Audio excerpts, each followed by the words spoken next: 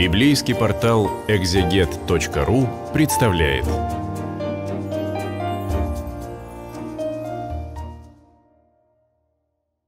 Сегодня на библейском э, портале «Экзегет» мы продолжаем наши беседы по первой книге царей. И сегодня мы будем читать э, восьмую главу этой книги.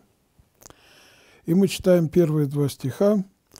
«Когда же состарился Самуил, то поставил сыновей своих судьями над Израилем. Имя старшему сыну его Иаиль, а имя второму сыну его Авия, они были судьями Версавий. Книги царей – это настоящие учебники а, политической, теократической деятельности древних царей и правителей, которые эти тексты могут стать назиданием для всех людей, которые стремятся к общественному и государственному порядку. Что мы здесь видим? Мы видим, что пророк Божий Самуил состарился, и он э, поставил своих сыновей, чтобы они судили народ Божий, они были судьями Версавии. Что значит Версавий? А, Самуил, пророк Божий, он обходил разные города, а эти осели в определенной местности и требовали, чтобы к ним приходили люди. В отличие от своего отца, сыновья Самуила, они не захотели странствовать по еврейским городам и там исполнять свои обязанности судей.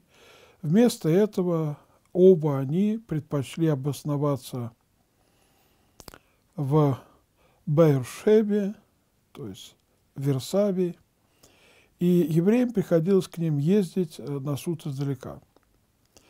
Кроме этого, как э, говорится э, в еврейской традиции, они э, создали э, в Версавии, э, в Бершебе обширный и дорогостоящий бюрократический аппарат. Потому что когда ты принимаешь в одном месте людей, тебе нужны секретари, помощники, и всем этим людям э, требовались какие-то средства для существования. И все это приходилось оплачивать э, простым евреям, которые приходили на суд. Имя Иаэль означает «Господь Бог», а имя Авия – «Отец мой Господь». То есть у них были такие хорошие имена, но, скажем так, э, их э, нравственно-моральные качества, они не соответствовали тем именам, которые они носили. И то, что пророк Божий Самуил, э, Шмуэль, он состарился, это была трагедия для еврейского народа, и вскоре евреи ощутили, что им чего-то не хватает в такой ситуации, потому что сыновья э, Самуила, они не устраивали народ Божий. И мы об этом э, так и читаем далее, третий стих. «Но сыновья его не ходили по путям его, и уклонились в корость, и брали подарки, и судили превратно». Вот это опасность для любого человека, который оказывается во власти, когда он не ходит э, путями своих предшественников, которые более трудолюбивы, когда он уклоняется в корость и берет подарки, то есть взятки, и как следствие этого эти сыновья Самуила и судили превратно. Сначала они э, вместо того, чтобы, как их отец, э, ходить э, по еврейским городам и вершить суд на месте, безвыездно осели в одном месте.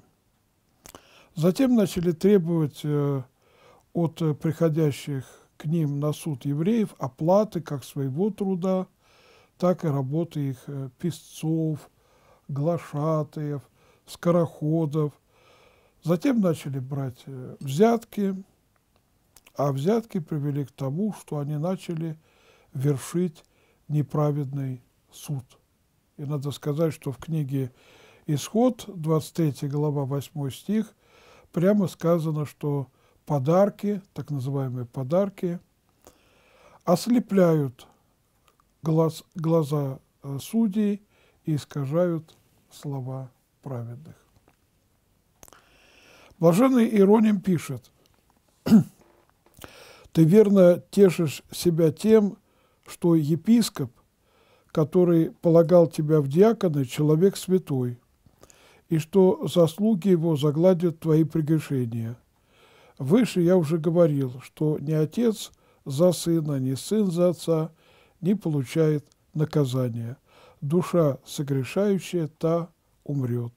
Вот и Самуил имел сыновей, которые забыли страх Божий, уклонились в корость и брали подарки и судили превратно.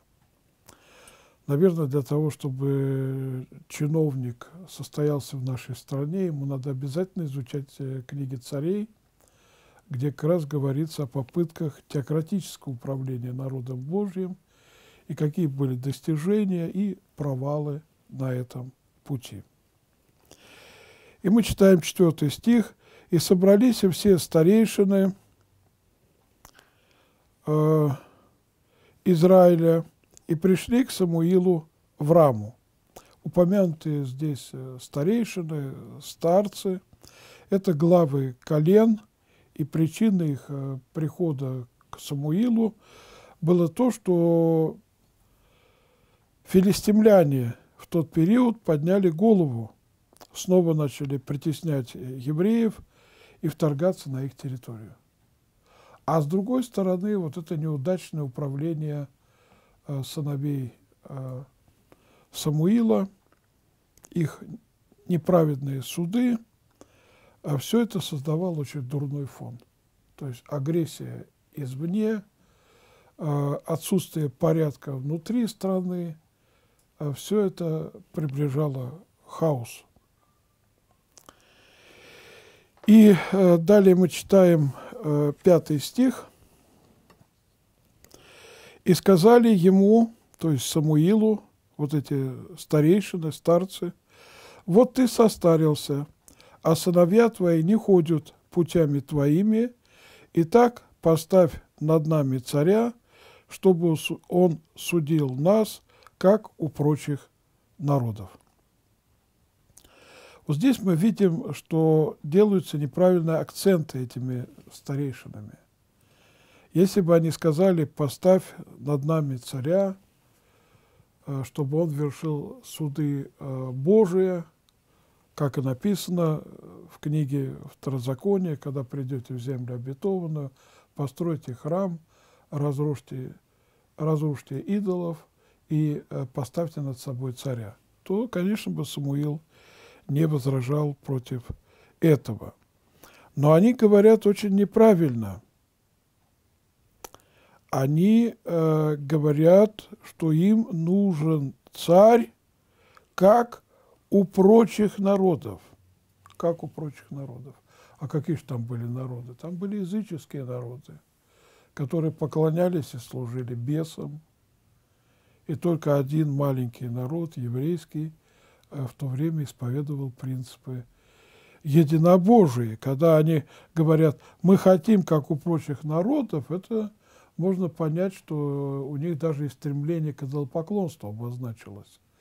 Потому что языческие народы, соседние народы, они именно обожествляли своих э, царей и своих э, правителей. И это была серьезная проблема. Давайте посмотрим, что пишет э, блаженный Августин. Некоторым лишенным терпения, Господь в гневе своем дарует то, о чем они его просят. И мы читаем о том, что просили израильтяне, что получили, и о том, как, когда а, прихоть развращенного народа была удовлетворена, Господь поразил его весьма великой язвой. И когда они попросили того, он, Господь, дал им царя, как о том сказано, по голосу народа, но не голосу Господа. И об этом э, записано на тот случай, чтобы если кто в ответ на горячую свою молитву, услышанную свыше, получил желаемое от Господа, а именно то, что куда лучше было бы для него не получить, не слишком э, много высоко возомнил о себе. И на тот случай, чтобы никто не пал духом и не отчаялся в милости Божией, когда мольбы его не были услышаны, в особенности же, когда просил о чем-то, что принесло бы ему больше горести и страдания, когда бы получил то, о чем просил, а не то и приблизил бы свое духовное падение, развращенный непомерным своим процветанием. На все те случаи, когда мы обращаемся с молитвой к Господу, не ведая того, что сами и спрашиваем, и не разделяя того, о чем мы воистину должны молить Бога. Что значит молить Бога? То есть сначала надо узнать волю Бога, а вот то, о чем мы просим, Господь это одобряет или нет? Без сомнения, Господь не одобрял то, что они хотели царя над собою, как у прочих народов. Кстати, наша страна все время она следует за зигзагами э, политических э, доминирующих систем на этой планете. Э, когда мы отказались э, от коммунистической идеологии, как господствующей идеологии, у нас тогда были генеральные секретари, мы сразу объявили, что нам нужны президенты. А если какой-нибудь диктатор захватит власть на планете, может быть, э, следуя за этими зигзагами политических новаций, мы будем требовать диктатора э, вместо президента и так далее. То есть э, стремление сообразоваться с этим миром, оно очень опасно. И апостол Павел в послании к римлянам пишет верующим, не сообразуйтесь с веком сим. То есть нам не надо перенимать поведение других э, людей, их стратегию политического домостроительства, и не надо, чтобы как у других и прочих народов. Надо так выстраивать модель жизни общественной и государственной, Э, как это соответствовало бы воле Божией. И святитель Иоанн Салтаус пишет, «Счастье легко может обольстить и развратить людей невнимательных. Вот, например, иудеи еще в начале, пользуясь покровительством Божиим, домогались закона, по которому управляются царства языческие – и в пустыне после манны вспоминали о луке, который ели в Египте. Так точно и теперь, отказываясь от Царства Христова, они провозглашают над собою Царство Кесарева. И апогей э, падения этого народа, когда они действительно кричали, «А нет у нас другого царя, кроме Кесаря как бы никто нам не нужен. И Господь оставил их один на один с этим кесарем, когда в 70-м году император Тит совершает осаду Иерусалима, уничтожение Иерусалима и храма, потому что Бог наказывает а, людей а, через их грехи, сокрушая их ложных богов и их идолов. На самом деле период управления царей, он не был самым удачным периодом в истории еврейского народа. Даже когда династия Саула пресеклась, он был из дома Вениамина, и будет царем Давид из дома Иудина. Все эти цари, которые царствовали над еврейским народом, даже праведные, благочестивые, они слишком заняты были сами собою. И вот есть интересное свидетельство, это четвертая книга царств, 23 глава, 21-22 стих, здесь сказано, «И повелел царь Иосия, это по-настоящему был праведный правитель, всему народу, сказав, «Совершите Пасху Господу, Богу вашему, как написано в всей книге Завета». Потому что не была совершена такая Пасха от дней судей, которые судили Израиля, и во все дни царей израильских и царей иудейских. Это трудно объяснить. Но эти цари были так заняты собою, что ни один из них не праздновал Пасху. Ни цари израильские, ни цари иудейские. И только вот царь Осия, он издал такое положение, указ озвучил, что надо, чтобы Пасху все-таки праздновали. И э, далее мы читаем седьмой стих – и сказал Господь Самуилу, послушай голоса народа во всем, что они говорят тебе, ибо не тебя они отвергли, но отвергли меня, чтобы я не царствовал над ними.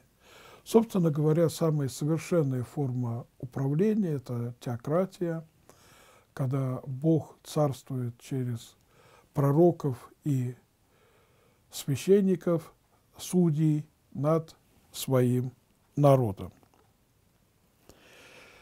А здесь э, евреи хотят царя наподобие тех царей, которые у других народов. Поэтому Господь говорит э, Самуилу, что в этом есть даже элемент отречения от Бога.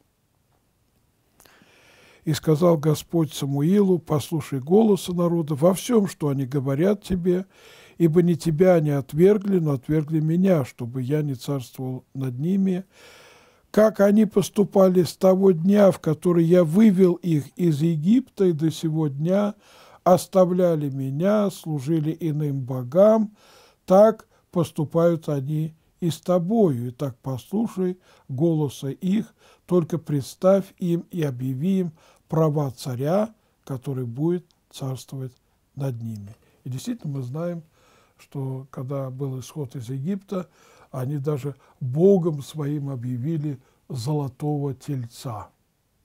Нечто подобное происходит с нашей Русью. Не успели мы выйти из 70-летнего безбожного Египта и дойти до православного Ханаана Святой Руси, как нам уже подсунули в пустыне без духовности и без нравственности культ золотого тельца, стремление к обогащению и взаимной конкуренции. И это стало как бы новой национальной идеей. И похоже, что мы должны будем все лечь костями в пустыне, а православный Ханаан отстроят уже те, которые без такого чувства, присмыкания перед э, земной властью, они э, будут э, трудиться последующих поколениях русских православных людей, если только само имя русского человека сохранится э, в ближайшие там десятилетия и столетия. Итак, Господь говорит, э, послушай голоса их, только представь им и объяви права царя. О правах э, царя, собственно, говорится Пятикнижие Моисея, здесь э, пророк Самуил, он как бы повторяет э, все эти права и обязанности перед царями. И мы читаем. «И пересказал Самуил все слова Господа народу, просящему у него царя, и сказал, вот какие будут права царя, который будет царствовать над вами. Сыновей ваших он возьмет и приставит э, колесницам своим, и сделает всадниками своими, и будут они бегать перед колесницами его, и поставит их у себя тысяченачальниками и пятидесятиначальниками, и чтобы они возделывали поля его и жали хлеб его, и делали ему воинское оружие и колесничный прибор его. И дочерей ваших возьмет, чтобы они составляли масти, варили кушанье и пекли хлеб. И поля ваши, и виноградные, и масляничные сады ваши лучшее возьмет и отдаст слугам своим. И от посевов ваших, и из виноградных садов ваших возьмет десятую часть и отдаст евнухам своим и слугам своим. И рабов ваших, и рабынь ваших, и юношей ваших лучших, и ослов ваших возьмет и употребит на свои дела.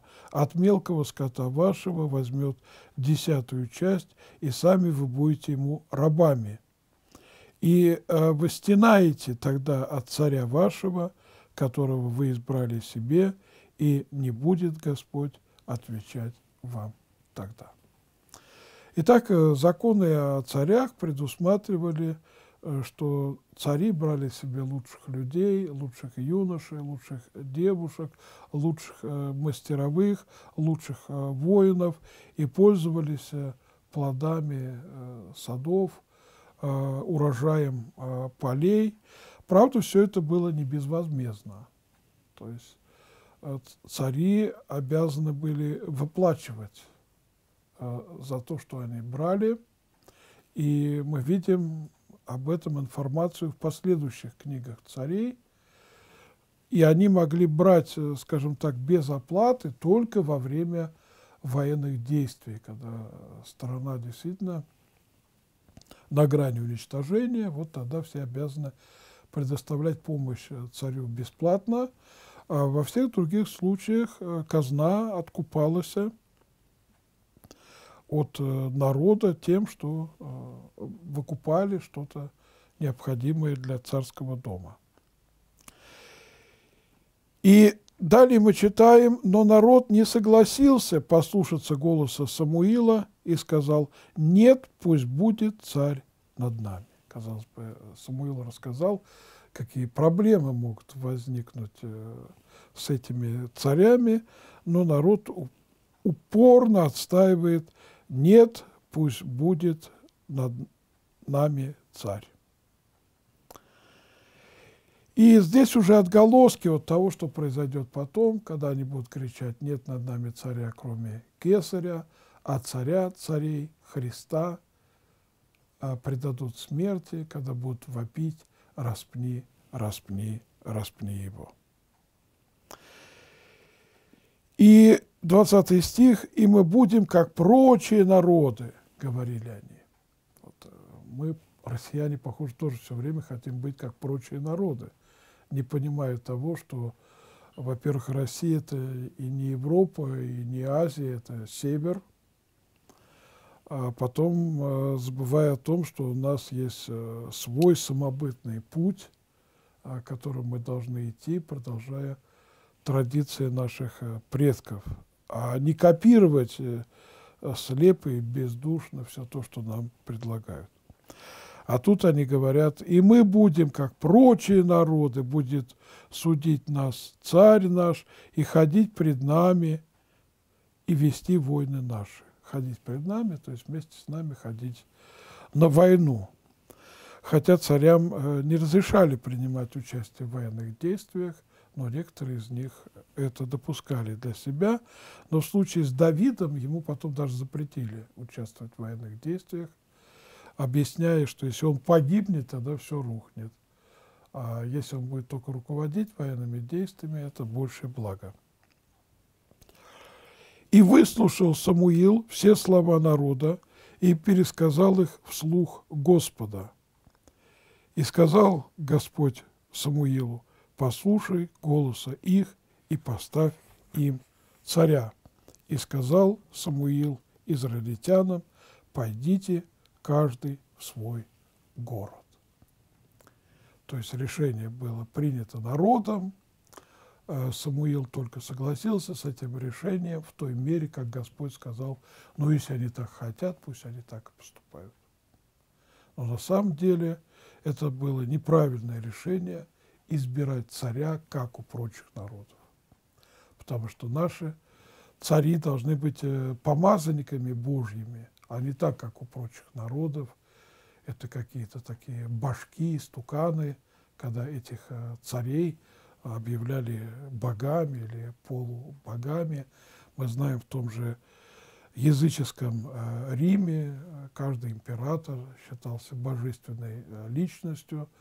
И даже при живых императорах ставили храмы, посвященные им и их именам, которые назывались храм гению императора.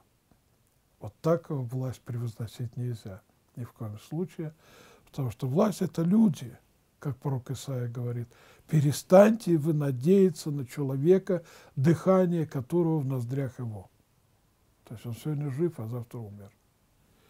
И в Псалтыре сказано, не надейтесь на князя, на сынов человеческих, ибо в них нету спасения.